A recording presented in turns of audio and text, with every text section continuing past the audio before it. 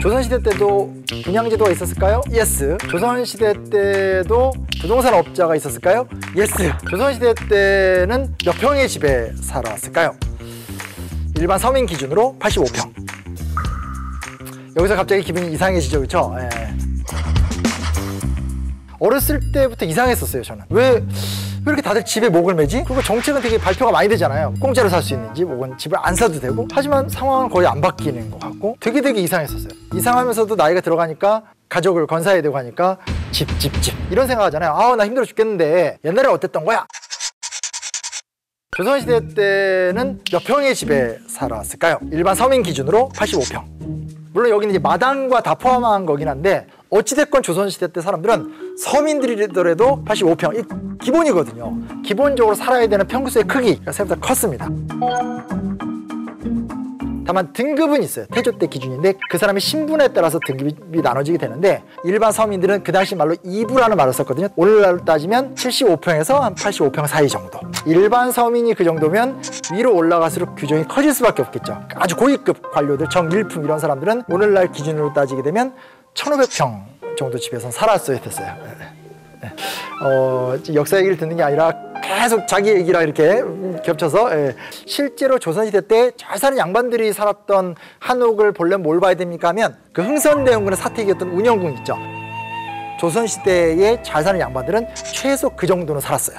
우리가 한옥 얘기하면 북촌 한옥마을을 생각하시는 경우가 많아요. 아닙니다. 이건 정확히 아실 필요가 있어요. 북촌에 있는 그 한옥마을은 일제강점기 때 만들어진 개량 한옥이에요. 왜 그러냐면 일제강점기로 들어오게 되면서 조선인들의 경제력이 떨어지게 되고 북촌에 대규모의 한옥을 운영을 못해요. 그래서 실제로 필지를 나눠서 새로운 형태로 지은 한옥들이에요. 조선시대 때는 청약제도가 있었을까? 청약제도 있었습니다. 조선이 수도 이전을 했잖아요. 원하는 자들이 신청을 하면 돼요. 그러니까 우리처럼 이렇게 뭐 분양권을 돌리고 아파트 몇 번 이게 아니라 이제 수도가 새로 만들었고 여기 공지가 많으니까 와서 살래? 저요! 하고 나서 공식적으로 서류를 내고 나면 위치 선정까지 본인이 할 수 있어요. 근데 이제 시간이 지나면서 두 가지 문제가 생겨요. 뭐냐면 지금은 토지도 소유하고 집도 소유하는 두 가지 권리를 갖고 있잖아요. 이때는 그렇지는 않았어요. 필지가 딱 선정이 되면 그 위에 집을 세울 수 있고 그 집만 내 거인 거예요. 조선을 세울 때 검문세가의 모든 토지 문서를 다 강제로 갖고 와서 다 불태워버렸어요. 그 불길이 3일을 갔다 이런 기록이 남아있거든요. 그러고 나서 새롭게 토지를 어느 정도 n분의 1을 한 건데 작은 중소 자영농이나 중소 지주들은 그대로 보존을 해주고 토지가 없는 사람들은 다 자영농으로 만들어준 거죠. 정말 대단한 일이에요. 그 과정법이라고 해서 토지는 왕토사상, 국가의 것이고 백성들한테 함부로 토지의 소유권을 인정해주면 문제가 생긴다. 이런 인식이 되게 예민했었어요. 그런 것 때문에 토지 사유권은 잘 인정을 안 해주던 구조인데 나중에 그건 이제 바뀔 수밖에 없죠. 이제 시간이 지나면서 이런 문제가 생겨요. 한양으로 들어와서 살고 싶어 하는 사람들이 많아져요. 이미 들어와서 사는 사람들이 약간 변칙을 이용하는 거예요. 가족 명의로 집을 더 사는 거죠. 그래서 집을 붙여버려요. 예. 내 집, 내 아들 집, 내 손자 집 해서 하늘을 묶어서 살아요. 굉장히 크게 살죠. 사례를 보면 양반들의 집이 궁궐과 같고 일반 서민들의 집이 양반과 같더라. 이런 기록이 막 나와요. 이런 게 이제 문제가 돼요. 이걸 누가 제일 싫어했냐? 성실한 유교 군주. 세종대왕이 정말 정말 싫어했어요. 세종은 오직 유교, 유교, 유교, 유교예요. 궁궐은 궁궐에 지어온 법도가 있고 양반은 검소하게 살아야 되고 백성들은 소박하게 살아야 되는데. 그래서 실제로 조선왕조 500년을 보면 가끔 가다가 권세를 부리던 사람들이 자기 집에 단청을 그리거나 이런 것들이 있긴 있는데 전체적으로는 다 우리가 지금 가서 볼 수 있는 한옥처럼 무늬를 안 칠하는. 근데 이건 유교 문화가 배어 있는 거예요. 음, 재개발했나? 재개발 재개발 했습니다. 재개발은 사실 할 수밖에 없어요. 왜냐면 우리 입장에서는 그냥 이한옥이 저한옥 같고 저한옥이 이한옥 같지만 나름대로 다 유행도 있어요. 예를 들어서 뭐 팔짝 지붕을 만든다가 아이 그래도 소슬 때문이 최고야. 지금 우리한테는 이게 별 관심은 없는데 그 당시에는 문이 또 되게 관심사거든요. 그래서 어떻게 지붕을 어떻게 꾸미느냐와 문을 어떻게 높이 세우느냐 이런 게 되게 관심사예요. 그리고 또 뭐가 있냐면 세조 때 불교를 어느 정도 좀 수용을 하면서 원각사를 질 때 민가를 헐어요.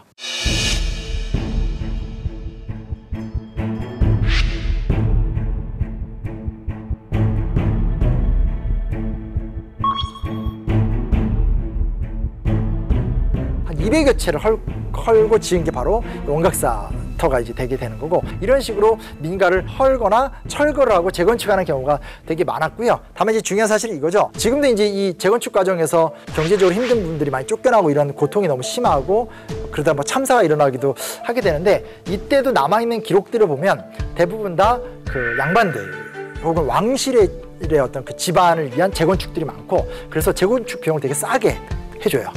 이왕 하는 거 우리 집안 사람이 하는 거니까 싸게 해줘. 되게 안타까운 건 뭐냐면 지금 우리가 민주사회니까 막 저항을 하잖아요. 그래서 기록이 있는데 이에 대해서 피해를 봤던 민중의 기록이 없어요. 이게 제가 되게 속상합니다. 지금 그래서 그게 얼마야? 지금 그거는 현재가로 뭐야? 지금이란 말이 되게 무서운 게 뭐냐면 지금은 막 아파트 한 채 막 몇 억씩 되잖아요. 뭐예요? 우리나라 80년대, 70년대 후반 이때 보면 아파트가 몇만 원 그랬어요. 그래서 사실 지금 우리가 지금 조선으로 뿅 오긴 왔는데 당장 지금부터 7, 80년대 요 2, 30년도 분석을 해봐야 될 판이기 때문에 이게 똑같지는 않은데 시간이 지날수록 서울에 있는 집값이 비싸졌던 건 사실인 것 같아요. 특히 이렇게 무관이나 관료들이 임지가 바뀔 때마다 이동을 해야 되기 때문에 그런 분들이 또 정착할 때 임대료를 내고 살 때 집값이 또 한 번 올라가게 되고 갈수록 서울에 올라오는 사람들은 많고 집이라는 것은 이제 한정되니까 집값은 올라갈 수밖에 없고 조선 후기로 가면 그래서 임대가 되게 많아요. 지금은 월세, 전세 이렇게 쓰잖아요. 그때는 연세, 연세. 아, 무조건 1년에 한 번씩. 전세라는 개념 없고 월세라는 개념도 없고 1년에 한 번씩 내야 돼요. 근데 그게 너무 부담돼요.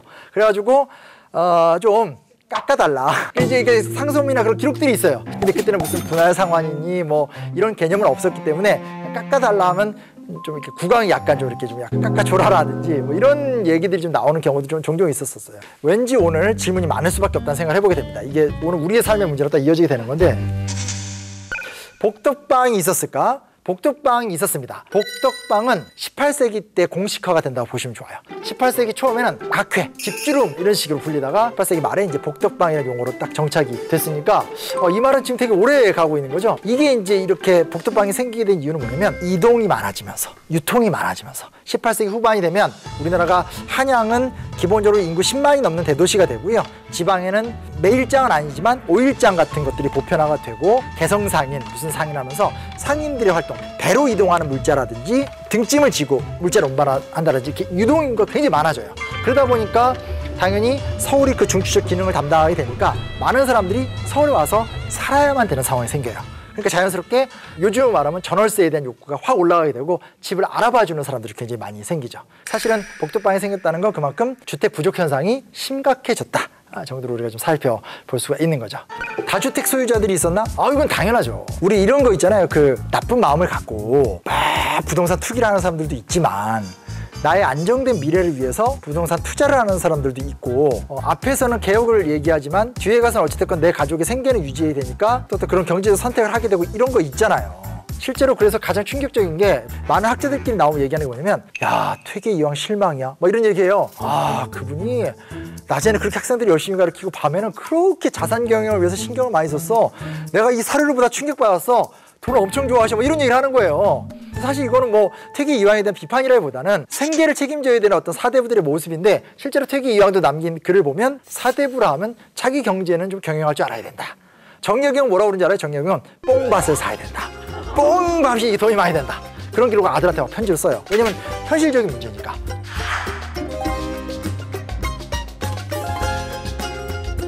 다주택 문제라는 게 이제 몇 가지 지금하고 비슷한 건데 하나는 돈 많고 권력 있는 사람들이 더 행복하게 살기 위해서 편법으로 여러 주택을 구입해서 늘리는 방식이 있고요. 그게 아니면 이게 돈이 된다. 연세 같은 걸 돈이 되니까 이런 걸 이용하기 위해서 어떤 그런 투자 차원으로도 많이 해요. 현실적으로는 불법이었는데 그다지 크게 처리는 잘 못했어요. 이게 왜 처리를 잘 못했냐? 지금 우리나라가 민주사회이기 때문에 시민들의 입장이 즉각적으로 정치에 많이 반영이 되잖아요. 그래도 안 되는 게 되게 많잖아요. 이때는 어찌됐건 국가를 운영하는 건 국왕과 양반들이에요.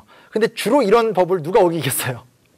양반들이 어길 수밖에 없죠. 정말 이렇게 초가삼간 유지하기 힘든 평범한 민중들이 피해를 봤을 텐데 그 사람들이 어떤 목소리를 담아내는 부분은 사실 너무 부족해요. 한 공간이 뜨면 주택 수요가 올라갈 수밖에 없게 되고 그로 인해서 생기는 여러 어떤 문제점들은 창궐하게 되고 그 문제점 속에서 권력이나 재력이 있는 사람들은 불법을 저지르게 되고 평범한 사람들은 피해를 보게 되는 것이 거의 반복순환처럼 이루어진다는 건 부정할 수 없는 사실이라고 보여집니다. 네, 그래서 뭐 같이 화냅시다.